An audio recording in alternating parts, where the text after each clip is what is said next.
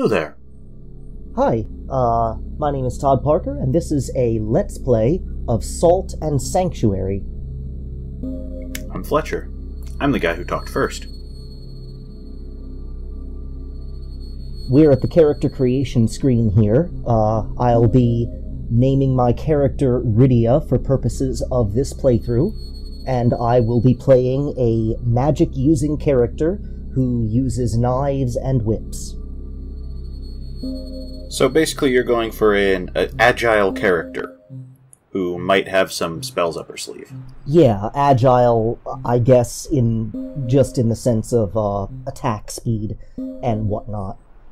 Uh, I, I don't think that equipment weight is a thing in this game. Fair enough.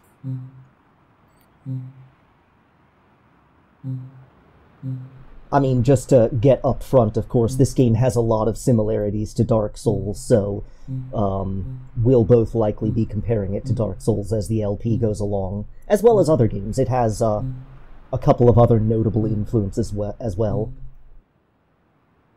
Yeah, but it's not like you can really see a lot of those on the character select screen aside from possibly Gaia Online. Uh, yeah, the uh, the visuals of this game aren't really my thing. They're not objectively bad. I just am turned off by the flash animation rigging style of character building. Well, you know, when you're a kickstarted project that's going for mechanics over anything, you can't hire an artist. Well, I mean, and not just that, but in a game where you're going to be showing equipment, it really does make sense to use that because it's easy to customize uh, parts and swap them out. Also true.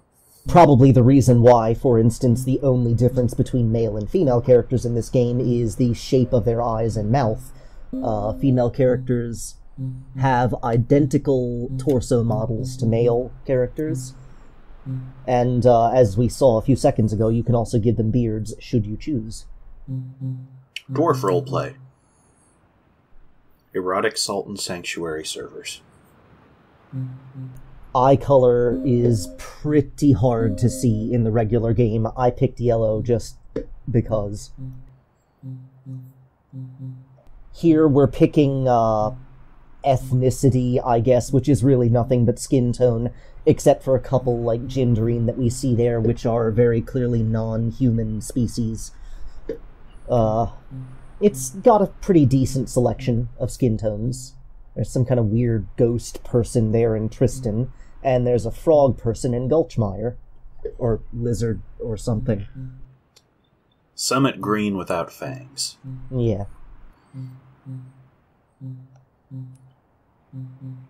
We'll be going with old white bread coast rock. Yeah. That's a very strange thing I've always found about these Souls series and things that took some stylings from them is that you have a whole world's worth of ethnicities sketched out on paper that never come to anything. Yeah, and that's definitely something that I think we're going to be seeing here. Um, I- I'll put right out in front that this is, uh, while this section of the Let's Play and probably the next one are not blind, everything after that will be. Uh, I've only played a very little bit of this game, but I've seen no evidence that anything that we saw in the character creation screen is going to be relevant in any way other than aesthetically. Don't worry about blind, on the other hand. I'm going to actually be doing a little bit of research before each recording for assistance. Cool.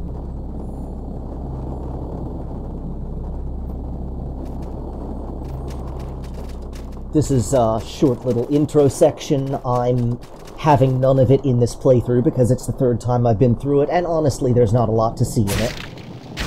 Well, we're also not going to get very much interaction out of this aside from one scene upcoming, but right now all you can do is hit things and be stabbed. Pretty much. I could cast spell, or spells if I chose, but the starting spell for sorcerers isn't that great. More on that later as it comes up. Here I am showing off one mechanic. This game similar to Dark Souls 2 and 3, allows you to perform a riposte attack against an enemy whom you have guard broken. And it seemed quite brutal. I believe it just killed one man by going straight through the one in front of him. There seems to be, with the longer weapon, weapons, a certain degree of splash through damage, but it also seems to be fickle. I'm not positive what the mechanics are there. Mm-hmm. Uh, I'm jumping around here to give the player a glimpse of what's up on the deck ahead of us. It's big. And uh, also, I'm assuming that not the person in the hood, but the person who's tied up in the chair is the princess, uh, mentioned in the earlier text crawl that uh, we didn't bother to read because it's not very interesting. It's alright. Princess, horrible beasties, pirates. That's pretty much how a Dark Souls begins. Yeah, I'm in pretty bad shape here in terms of health, but this is the starting boss, so he should be pretty easy, I think. He's got a really simple attack pattern. He just kind of walks forward slams the deck, and you can see that he's a Cthulhu figure. I'm just kidding, actually, this is a guaranteed boss battle. However, it changes everything to a much more aesthetically pleasing white for loading screens.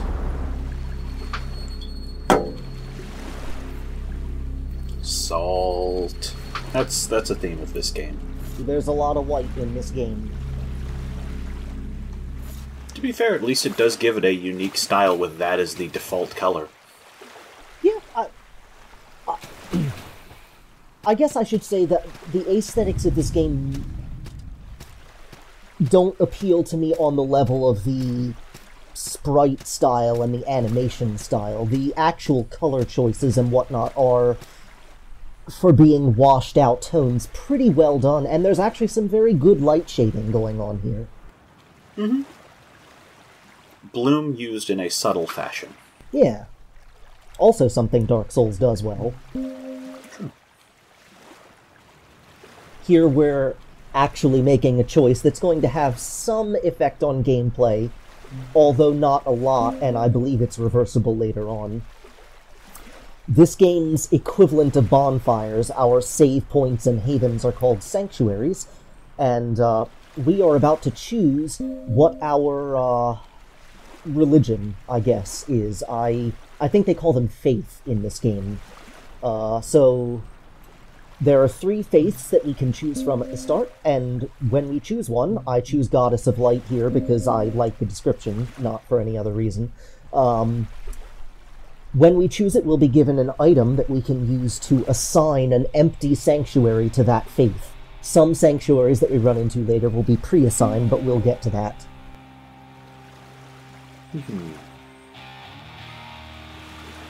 There are some mechanical differences that we can discuss later as well, but they're pretty minor.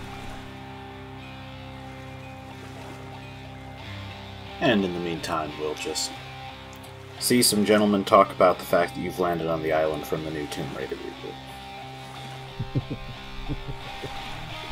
Come on, we're looking for a princess, nobody ever leaves. Bizarre jungle fates.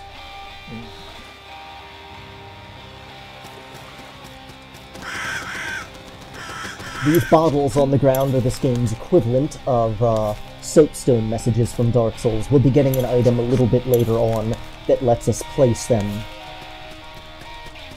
It's not that dissimilar. Notice that that dodge roll takes a lot of endurance. Half of my bar. Also, at this point, we should probably note that you have changed the default controls to be more Souls-like, as I have heard they are not amazing. They're much more set up like a God of War style combat system, uh, with um, Ooh.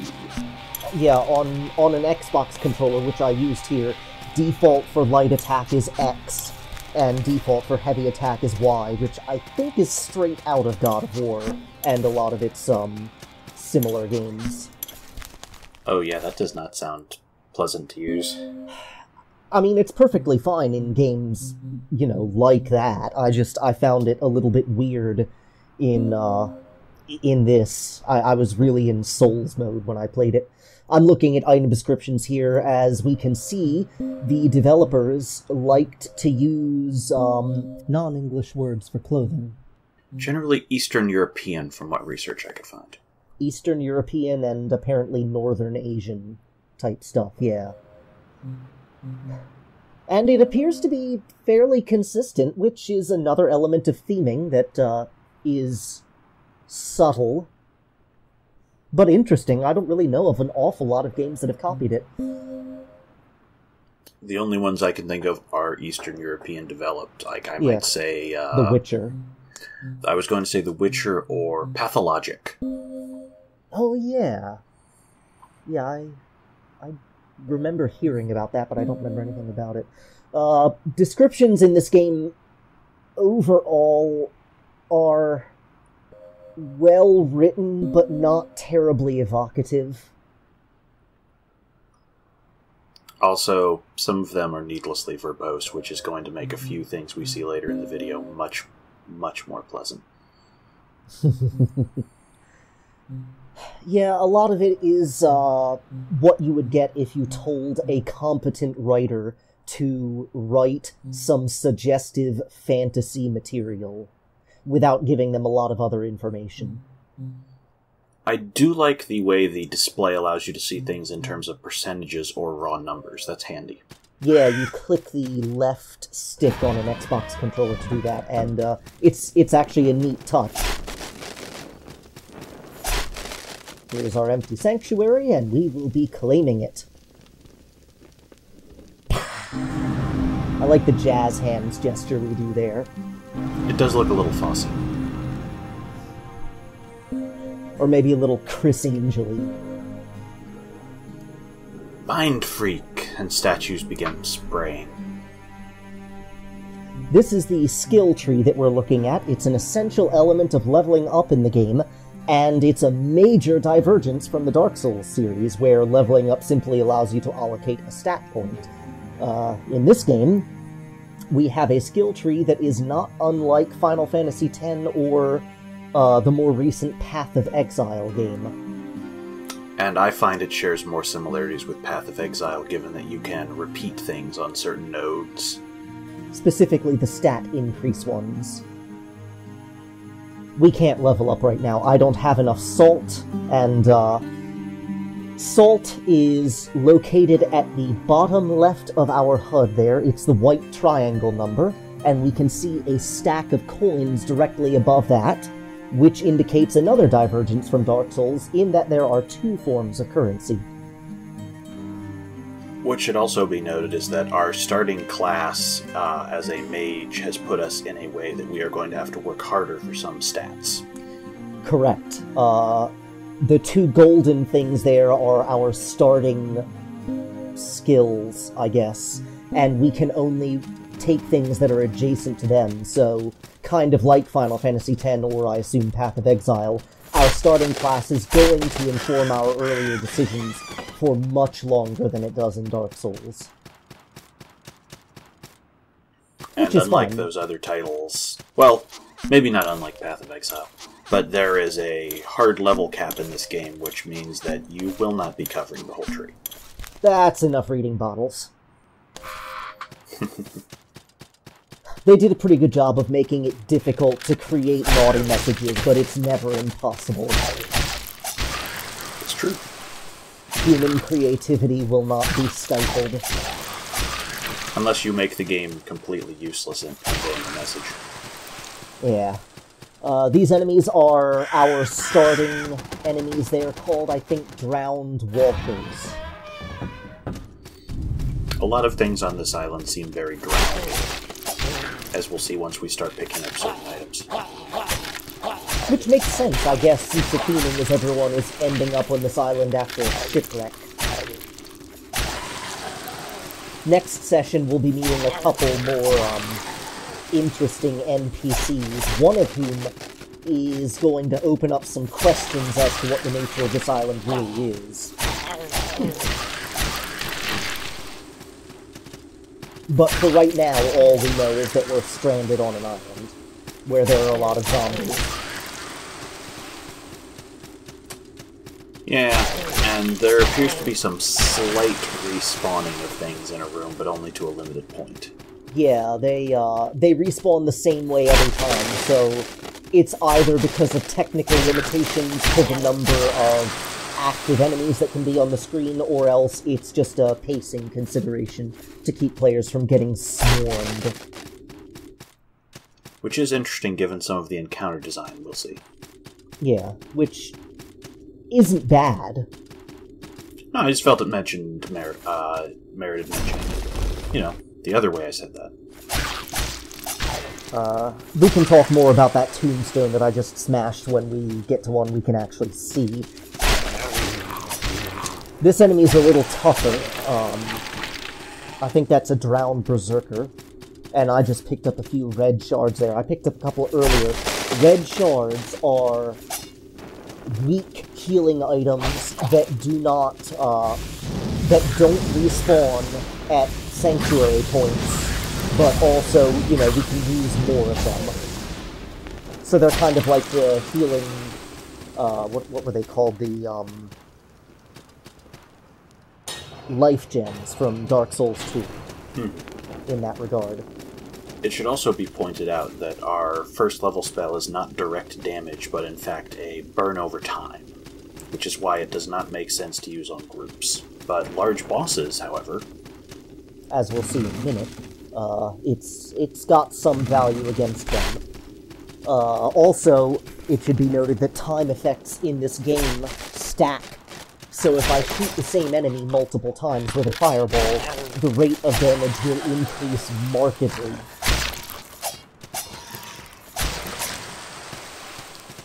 We won't be seeing it this playthrough, but that also applies to damage effects on us, which means that when we get into areas with a lot of poison enemies, we can get into trouble really fast, and doubtless will.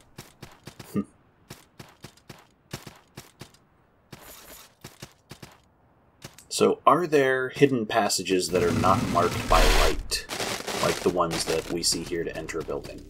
There are, and we'll Okay. be uh, opening a couple of them later. Gotcha.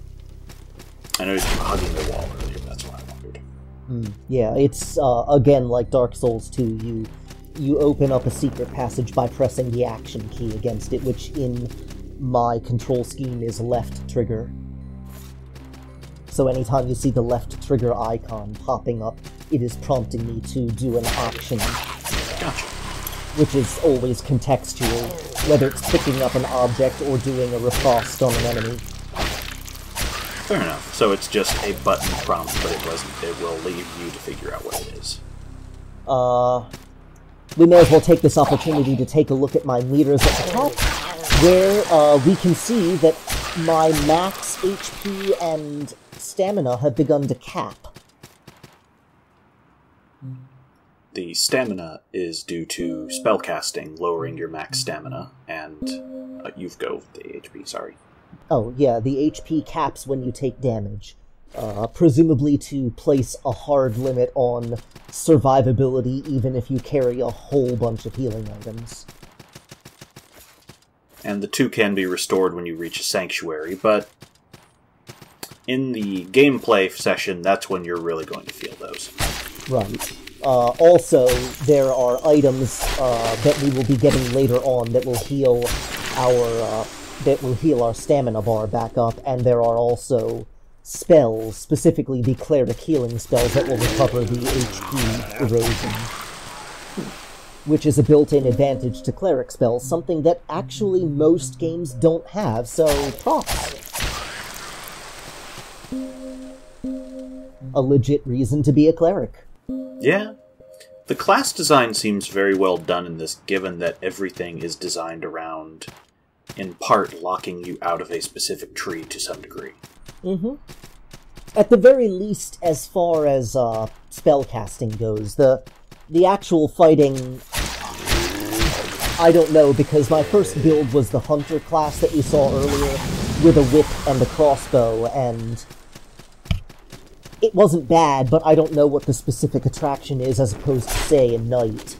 And most people that I have talked to about this game have said that by far the easiest way to play is to start as a knight and just pick the biggest weapon you can equip. This right here is a um, sort of like a half sanctuary. We can't do any leveling up or anything at it, but it will heal us, respawn enemies, and restore our items. The Water of Blessing that I have highlighted up there right now is the healing item associated with the faith that I picked, and this door is locked. Uh, it should be mentioned that the different faiths will allow for some small changes in items. The Water of Blessing, for example, heals less than other choices, but will give you damage reduction shortly after taking it. Which is pretty helpful for a squishy mage. I think. I, I would think that being able to take less damage helps. Defense boost. The, uh, the bottle in this game, unlike the soapstone in Dark Souls, uh, does not restrict your grammar. You can choose any available words in any order that you like, as far as I know, to a certain length. And, uh, yeah, so the only restriction is on your lexicon. We're seeing some suggestive words here like brand, kraken. I don't know why we'd ever need one of those. Mm. Unimaginable.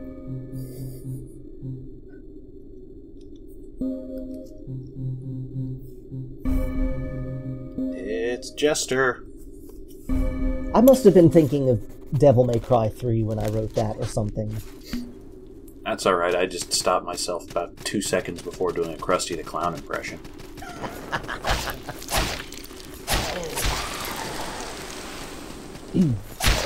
We can see right there that the launching attack that I've been doing does not launch that big wolf. Uh, so some enemies have a degree of inertia. Which is an interesting touch. In a game that's a little bit more kinetic than, uh, than some of its inspirations. That tombstone I broke there is left behind by another player's death, and uh, apparently the tombstone that you get is based on your faith. So keep an eye out for all three.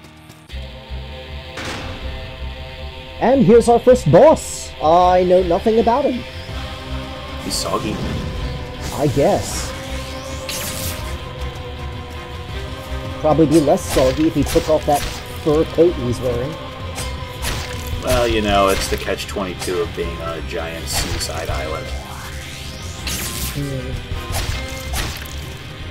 Uh, I'm doing a lot of darting and rolling around. I did a bit of spell casting at the beginning, but realized it would be better to save for when he enters into the later phases and gets a bit more dangerous. Uh, I didn't die to him this run, but I died to him a number of times in my first run, because as you can see, he deals a fair chunk of damage with a hit. He also speeds up slightly, but he's very telegraphed, and he is your first real boss. Yeah once you recognize the sort of uh, follow-up patterns that he does, there's not a lot to him. And uh, in just a second, I'll uh, I'll drop a train on him in the form of a whole bunch of fire. But if you watch, you notice how the numbers just rise from single to double to thirties. So on the larger bosses, that flame spell that we start with is actually fairly useful even if it's not that great in uh, Luke fights. We get a nice chunk of change. The Sodden Knight's Ashes, I think it said. Yes. Is that what it said? And I have no idea what those are for. It says they can be traded to leaders or used in the game's crafting system, but I haven't really done much with either of those yet. Uh, and we got a key. Well, you know. And we met a locked door just a little while ago, so guess where we're going? I'm gonna guess the one locked door we've seen so far in this video. That would be a good guess, but I think actually what I did was go back to the sanctuary to um, do some other stuff first. Hmm.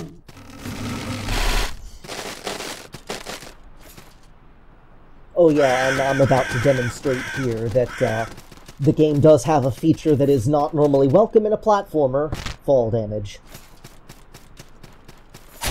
But, you know, it makes sense if designed around it, however, I can see it being irritating when you're trying to traverse older areas. There are a few movement mechanics in this game with regard to jumping around or being knocked by enemies that can lead to some deaths that feel a little cheap. But it's not egregious. It's just a little bit irritating when you have as much on the line as you sometimes do in these games. Here I'm getting, I think, three levels. And one major difference uh, between this game and the Souls games is leveling up on its own does nothing. What leveling does is give us items called Black Pearls, which we use to unlock spaces on the skill tree. The majority of the spaces are just simple stat up uh, tokens, which will increase a stat by one. We can see the result where the green number is on the left. And the vast majority of the stats that are available to us on our side of the tree are magic. Makes sense.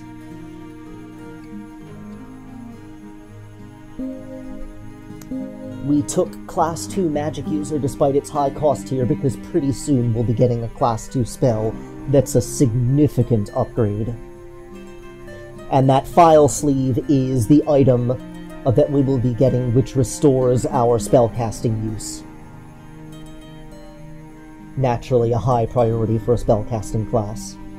After that, I do like the design of this tree, and that there is some crossover between certain trees. So you can skip to the middle of another adjacent class. Absolutely, it makes it um, a lot more viable to build in one direction and then shift your focus than it than it would be if you had to start at the beginning. That's a good point. Uh, these are items that we can offer to attract merchants and other helpful NPCs to our sanctuary, but there's a better sanctuary not far from here that we'll be going to where I'll use them instead. Uh, that's another advantage, I think, of taking the goddess as your starting faith, is that you get a customizable sanctuary a little bit later in the game, so you don't have to go all the way to the beginning. Um, you can level up and heal at, at, a sanctuary that is not aligned with your faith, but you cannot customize it. Makes sense. What you what you take is what you get. Um, it may be possible to change your faith halfway through the game. Actually, I know it is because I made it to a sanctuary that's a fourth faith. Um, Hmm. I I think yeah, I made it to a sanctuary that is a fourth faith uh, in a different run. Um, where I could change to it. But uh, I, I, haven't yet had an opportunity to change to either of the starting three yet. Presumably, May I just say that as an evocative a name as the Festering Banquet is, they really don't do much with that. Uh, I mean, yeah, I it, it just looks like a mausoleum. Yeah. So I guess they're gnawing on them bones. You know, it makes sense. This does look a bit like a feast hall, other than the fact that it's five stories tall, but it's it's kind of got a Skyrim.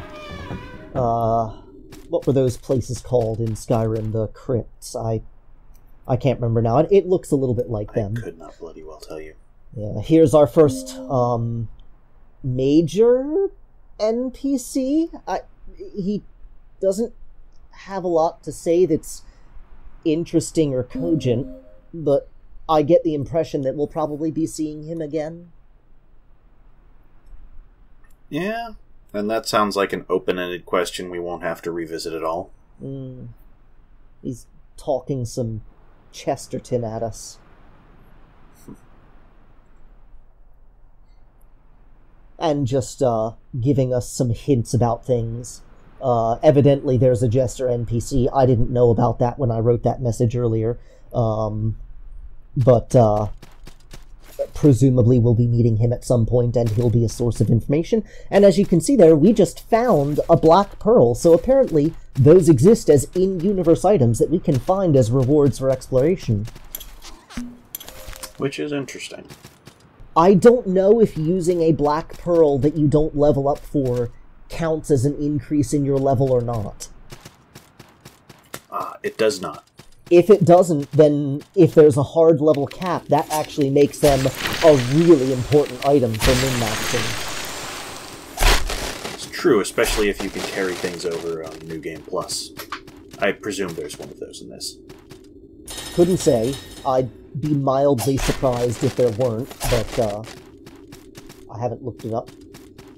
Back here, if you look closely, you can see a sort of obelisk-like structure in the background. Uh, we'll be able to interact with those later, I think, using an item or something called a brand, but I don't know much else.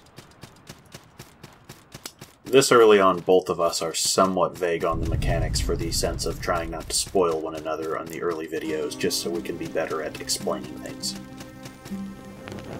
Here is the second Devara associated sanctuary, and that NPC there is a cleric who is a cleric vendor, essentially. Uh, another quick level up. I'm working my way toward the file sleeve first, because being able to heal spellcasting is going to be useful once I get my tier 2 spell. And then I'm going to start working my way toward the center of the tree to get the two potion upgrades that are there. That will increase the number of blessed waters that I get.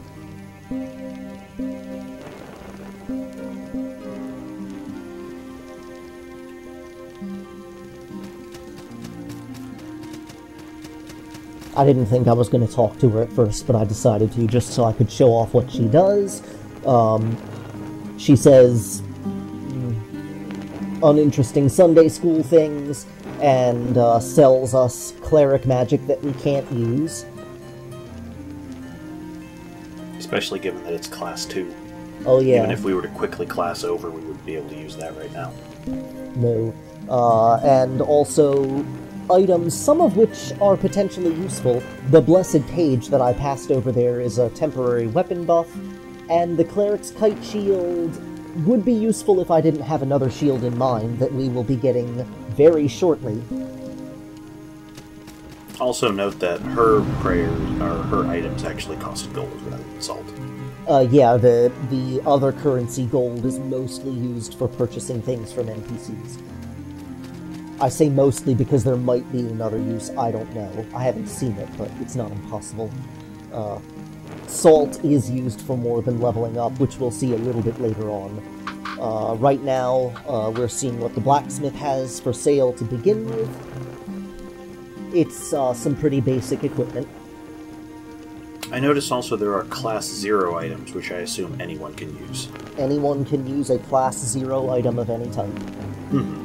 I don't think there are any class 0 magics, though. If there are, I, I haven't seen them.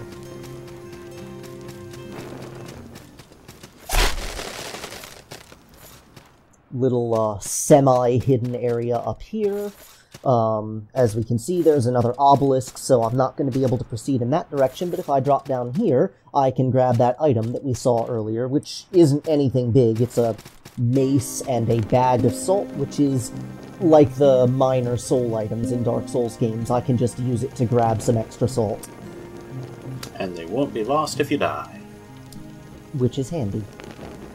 Should I need to, say, stock up on items immediately after dying, although I'm not really worried about that in this run. We should be.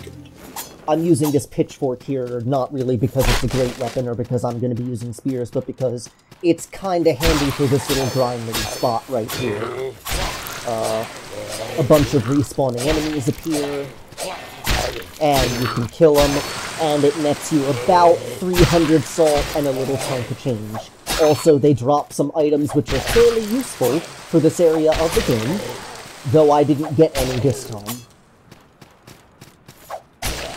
I'm showing off the quick attack as well as the heavy attack. That jumping lunge I was doing is the spear heavy attack.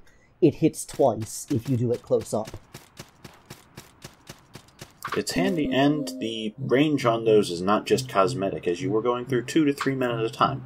Spears are excellent for crowd control in this game. They are the equivalent of the big, long, sideways, swingy swords in the Dark Souls games. They are very much for crowd control. Uh, the mace has a chargeable strong attack, uh, which a lot of weapons don't.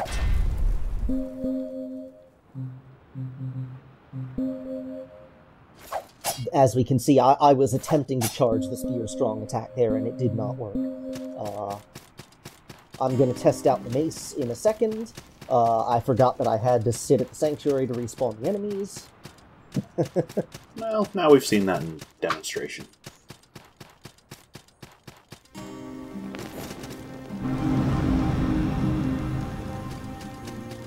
I was grinding here not so much because I wanted the experience, but because these enemies will drop a couple of items that I was going to purchase in a minute.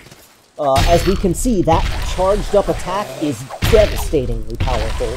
Um, it killed the enemy behind the first one I hit in one strike and broke the guard of the other after a second. But I got in a little over my head here, and that was that. I won't be using maces again in this run. As we see, dying uh, loses all of your salt as well as roughly a tenth of your gold. Ha. So it's a significant loss. We can go get our salt back. The gold is gone forever. Um, I think I'm. I just went ahead and purchased the equipment that I'm going to be using for combat from now on, which is going to be. Uh, not going to be using crossbows. They're they're essentially magic if you don't want to be a spellcaster like uh, like catalysts, they go in the offhand and are ranged.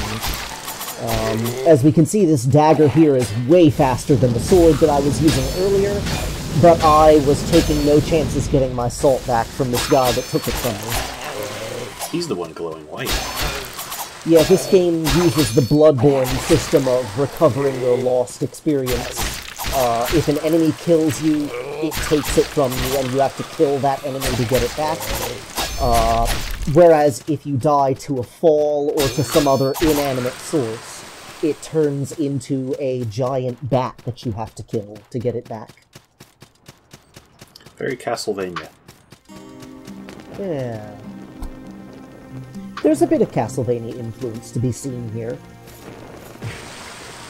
I'm using up my salt bags here because I wanted to speed up my leveling process a little bit. That blacksmith is remarkably calm about things constantly exploding in his face. You'd think he'd have to sneeze after a minute. Yeah, maybe it's just so dry in here he doesn't feel it. Leveling up a couple more times, and I believe that's going to get me another potion, and more healing is always welcome. Uh, oh no, no, no, this is going to get me the file, and then I believe I went back and started working my way toward the potion. We know where we are at the end of the video, just not in the middle.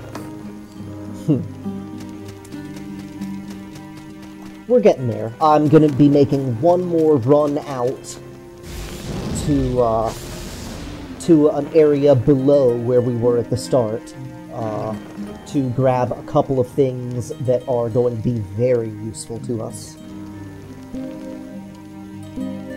Including a shield, apparently, which is not something you usually see with a mage. And I will never be equipping more than a class 0 shield probably in this run because the shield skills are all the way on the other side of the skill tree. And of course, it takes up my catalyst slot, so I'm never going to be at my combat strongest when I'm using it anyway. The shield is mainly going to be for traversal, dealing with enemies that are too weak to use spells against. Makes sense.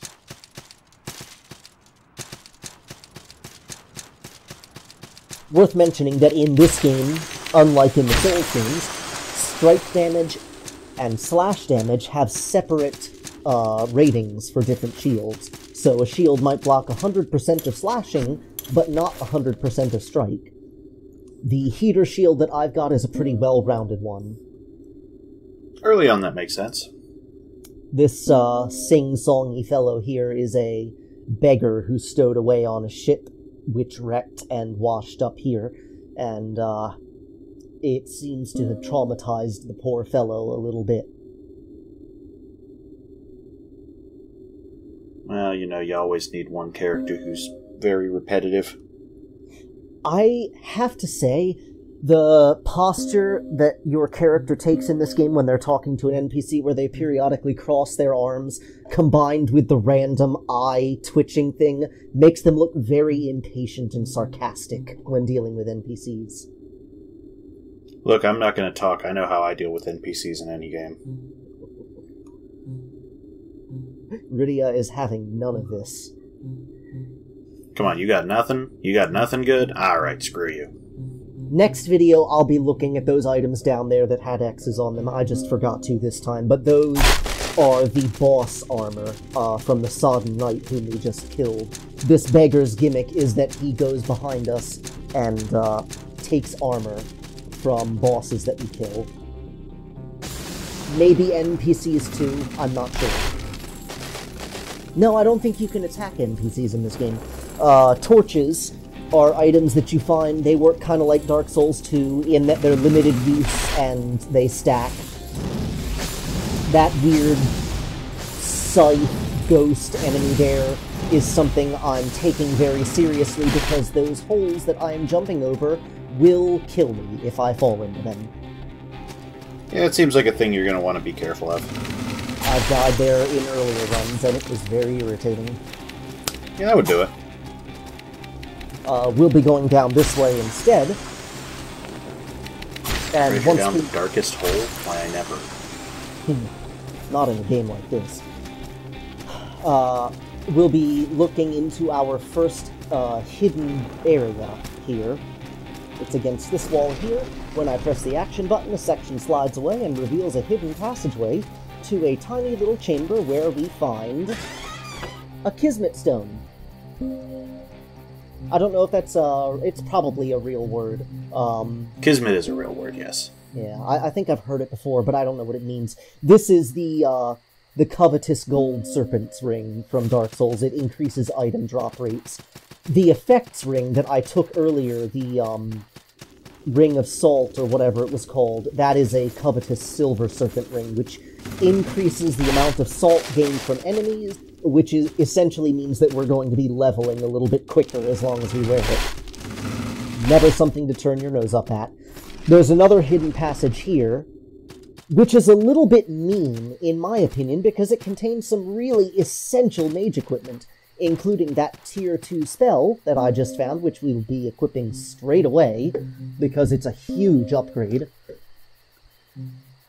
Uh, as well as, after a tricky encounter at the bottom of this cave that we might have fallen into, uh, an even more essential item. Incidentally, Kismet would be fate, by the way. Ah. Makes sense.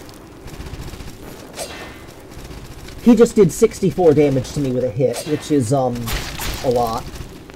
This, uh, crustacean centaur pyramid head fell out.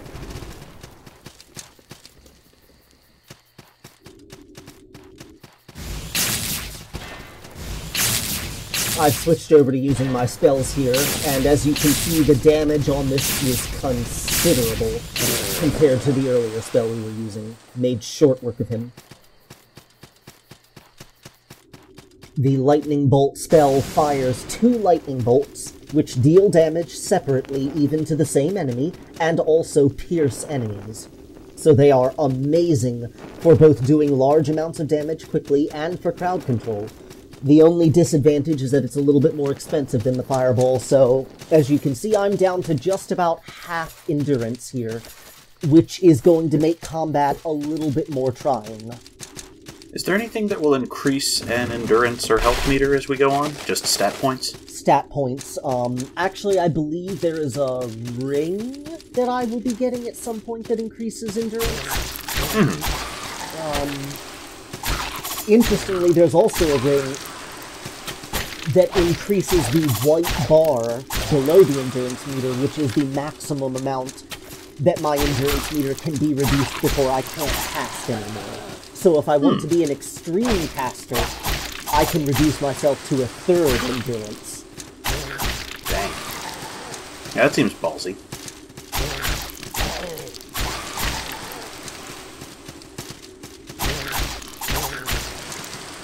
as long as I'm good about using uh, using my file, uh, which is in this case with my faith is called the Cloth of Blessing, uh, I should be okay. Ah, so the files change from faction to faction too? Yes, Interesting. I think so. I will have to look that up later. They do, yes, actually I know they do. Uh, from when I switched, uh, switched my faith in my first run.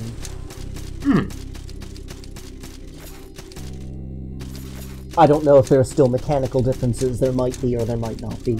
Um, if there were, I would guess that probably the Cloth of Blessing is a little bit more geared toward mages. I'll, I'll add that to the list of things to take a look at. Okay. Make one last trip over this way. Uh, stopping by to make a quick level up run. I believe this is the last I'll be leveling up this video.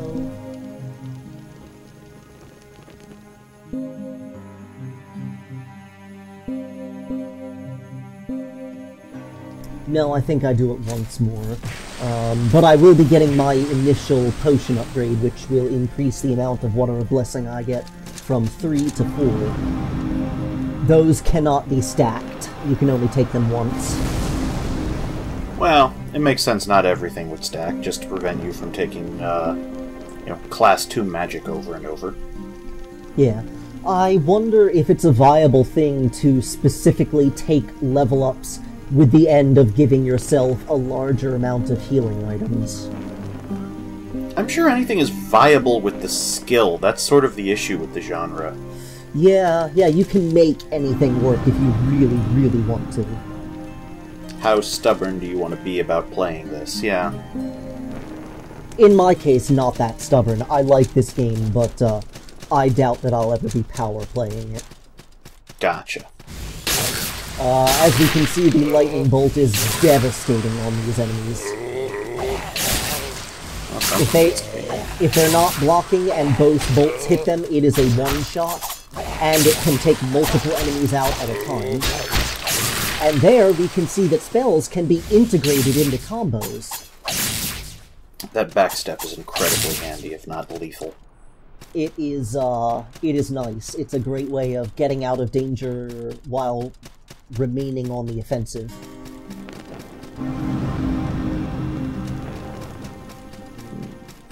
And uh, this time I felt bold enough to try and take on this area the rest of the way. So once I clear out these enemies, I'll be moving further to the right. Progress. It's either that or egress. You know, whatever works sometimes. Uh, actually, I lied because we got a lock of hair. We saw that earlier, the beggar was selling them, but what these are are this game's Titanite. Uh, the blacksmith requires a lock of hair, or uh, later on there are different items that are for higher level enhancements, but uh, he will take an item as well as some salt in order to upgrade a weapon or a piece of armor. We'll be upgrading our magic because we're a magic user. Um, and uh, yeah, that's the only NPC interaction I've found so far that requires salt. There's probably more. I can't imagine they have that whole thing just for one mechanic. It sort of makes sense because, you know, equipment is an aspect of character growth. Uh, on the other hand, I don't believe there's enemy despawners, so it's not like you really need to make a choice if you're willing to put the time in. Uh, yeah, I got in a bit over my head there, so I uh, ran back and did some healing real quick, and then back into the fray. Hey, if it works. Some enemies, if they uh, if they take enough damage quickly enough, they go into a kneeling posture, uh, from which you can stomp them. And these large enemies, if both bolts of that lightning bolt hits them, it is an instant stun. Fantastic. That does seem incredibly potent and convenient. And uh, they left a couple of drops with some equipment that we won't be using because it's heavy, and uh, we don't have the class for it. but uh, we see more of the Eastern European clothing names. Ushanka.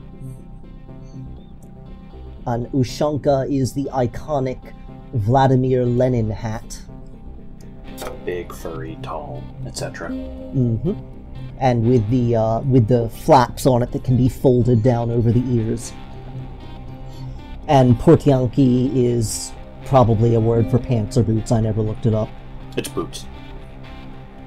The uh, the acolytes um, contus that we are wearing is uh, you said it was a was it It's a Uh. it's an older winter coat. yeah and uh, what what nationality what language was that from again was it uh, Polish or Uh Polish Lithuanian, Polish Lithuanian okay yeah if I remember correctly. It was a PL. I like our green hair so I'm not going to be wearing uh, headgear unless I find some that I like the look of and I haven't found any yet. Is this a very gear driven game in terms of protection? I don't know. I, armor can be leveled up, I think. Okay. Um, so probably you can make anything viable if you're willing to deal with it. And actually, I said equipment weight wasn't a thing, but it is. Equip weight is a thing. I just don't know if it affects your movement until you get overburdened. So it may just be a hard limit on how much you can wear. I'm not sure. I uh, I don't have the class ability to equip enough to overburden me, so I've never done it. oh, interesting. That has to be a, a specific ability. Also, I like how nobody even tries to make uh, chainmail more than, yeah, it's a hat. It's made of chains. Links. It's very brief among the item descriptions, and that's unexpected. Keep it nice and simple. It's heavy armor, so we won't be using it. Some flame arrows that we probably also won't be using, although, uh, unlike most ranged weapons, bows are equipped in the weapon hand, so you use them instead of a melee weapon. Hmm. Another locked door, and one for which I haven't yet found the key in any run. And, uh, yep, like that guy said, this is the end of the road for us for now. Well, we'll find a way around. he's giving us a hint for where to go, although, uh, to be quite honest, I haven't gotten to the area past this yet, so I don't know the particulars. We'll figure it out. We see another one of those obelisks there, so doubtless it's going to involve getting a brand of some sort. Uh, incidentally, there is, I haven't shown it, but there is an equip slot for brands, or not an equip slot, but an inventory category for brands. And there's a nice little hidden area up here with a little bit of stuff, including a very useful stone guide, um, who will be our form of fast travel. And I'm very lucky I didn't die here. Yeah, holy crap, that was a sliver. Uh, yep. Fall damage stacks up very quickly, just like in any game with fall damage. True. A little bit more careful this time. One of the reasons I'm not a huge fan of this graphical style is that it makes precise platforming a little bit difficult. Um, that was some claret gear that we got there. Light vessels are grenades, as far as I can tell. I haven't used any yet. Um, But in the description, it says you hawk them at enemies and it they blow up in whole light. And the mending thing that we got was a tier two um, cleric spell. Wait, wait, wait. You're telling me this game has holy hand grenades? Yes, yes, I am. Wow. Didn't see Our- that coming. Our magic has increased quite a bit here. Uh, we're already at 15. Um, think in my earlier mage run I had gotten it up to 20. Uh, and that was before I had leveled up anything other than dexterity, so our stats are not very balanced. And uh, that's also the end of this, uh, this session. We'll be back. Next session, we'll be exploring the Village of Smiles. Thank you for joining me, Glad to be here. and thank you for watching. See you around, folks.